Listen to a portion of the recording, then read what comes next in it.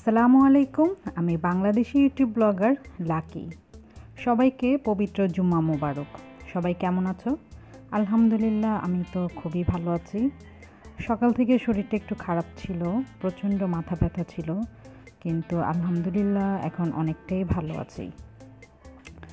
তো শুক্রবার মানে আসলে আমার ব্যস্ততার একটি দিন। এই দিনটা আমাকে আরেক আরও সকালবেলা উঠতে হয়। উঠে কিচেনে যেতে হয় রান্না বান্না করতে হয়। আর যেহেতু আমার উনি বাসায় থাকেন, তাই একটু কাজটা বেশিই থাকে।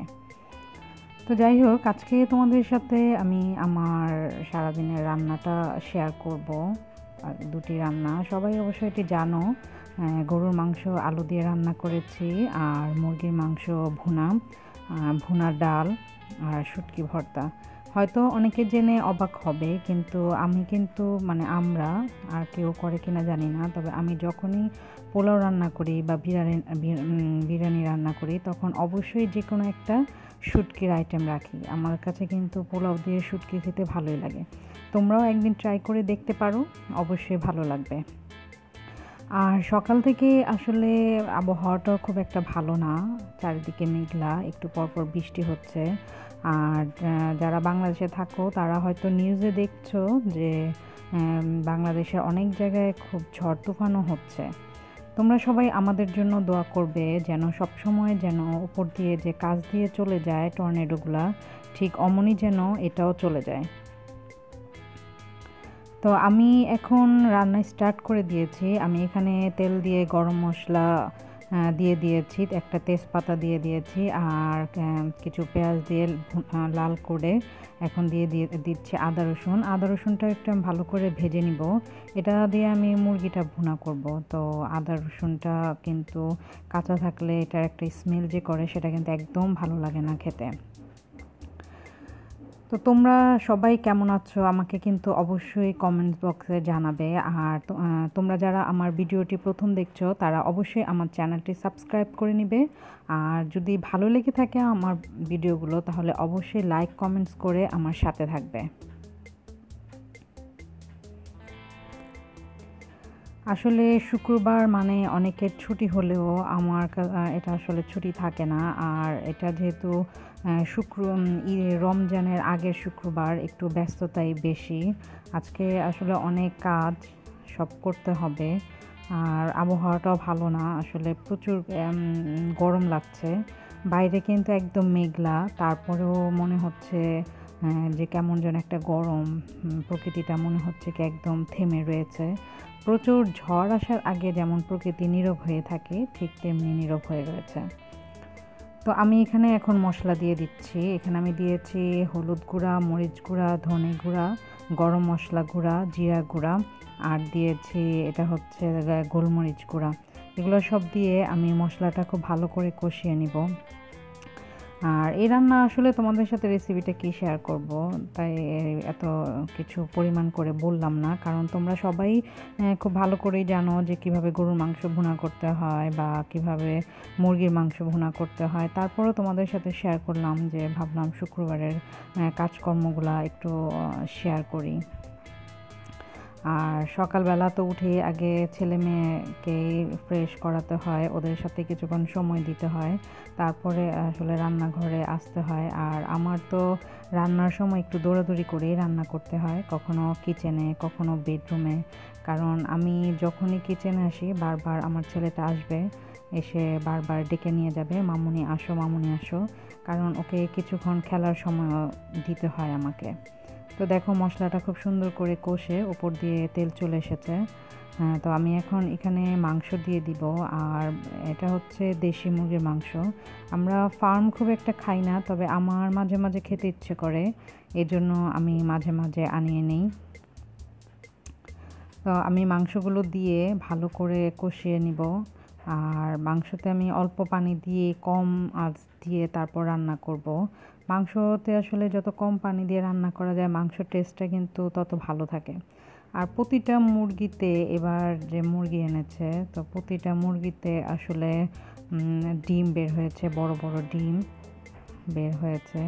বুঝলাম না আসলে এত কিছুদিন পরে হয়তো মুরগিগুলো ডিম দিত, কিন্তু তবুও কেন ওরা বিক্রি করে দিয়েছে? আর একটা জিনিস আমি সবার কাছে জানতে চাচ্ছি যে অনেকে বলে যে মুরগি পেট থেকে যে ডিমটা বের হয়, সেটা নাকি খাওয়া ভালো না বাচ্চাদের খাওয়ানো ভালো না, এটা নাকি শুধু মুরব্বীরা খায়। আর আমার ঘরে তো কোনো মুরব্বী নেই, তাই আমি আসলে জানতে চাচ্ছিলাম যে এটা কি সত্যি নাকি কুসংস্কার? তোমরা আপুরা অবশ্যই আমাকে জানাবে বা যে জানো, সে অবশ্যই আমাকে কমেন্টস করে একটু জানাবে। কারণ এটা জানা কিন্তু দরকার।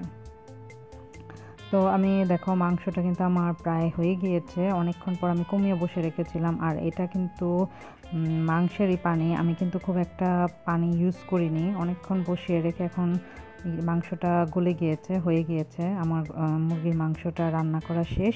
এখন আমি রান্না করব গরুর মাংস আলো দিয়ে। আর রান্না করেছি আমি সাদা পোলাও। সাদা পোলাওটা অবশ্য আমি এখানে আপলোড করিনি, কারণ ওটা করলে ভিডিওটা আসলে খুব বড় হয়ে যেত। তো আমি একদিন শেয়ার করব তোমাদের সাথে আমি কীভাবে সাদা পোলাওটা রান্না করি। আর আমার কাছে কিন্তু ভাত থেকে বেশি সহজ মনে হয় পোলাও রান্না করা। ভাতটা আমার কাছে খুবই কঠিন মনে হয়, খুবই কঠিন। তো আমি এখানেও পেঁয়াজ আর দারচিনি, এলাচি, তেজপাতা আর আদা রসুন দিয়ে নিয়েছি। আদা রসুনটা আমি একটু ভেজে নিয়েছি, কিন্তু আজকে আর মশলাটা আমি বেশি কষাবো না।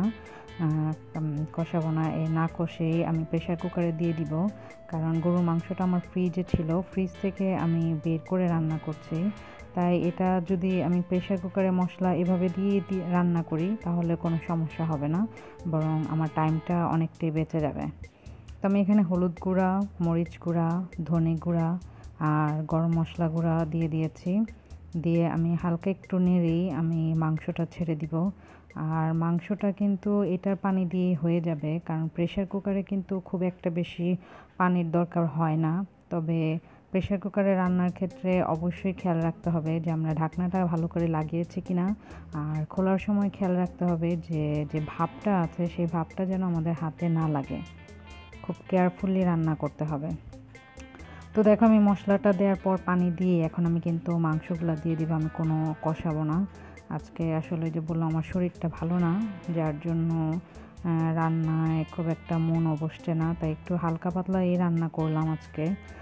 তোমরা সবাই আমার জন্য দোয়া করো যেন আমি একটু তাড়াতাড়ি সুস্থ হয়ে যাই। আসলে মাইগ্রেনের প্রবলেম আছে আমার, তাই মাঝে মাঝে প্রচুর মাথা ব্যথা করে উঠে যায়। তো আমি এই ঢাকনাটা লাগিয়ে এখন আমি বাসি অপেক্ষা করব হওয়ার জন্য।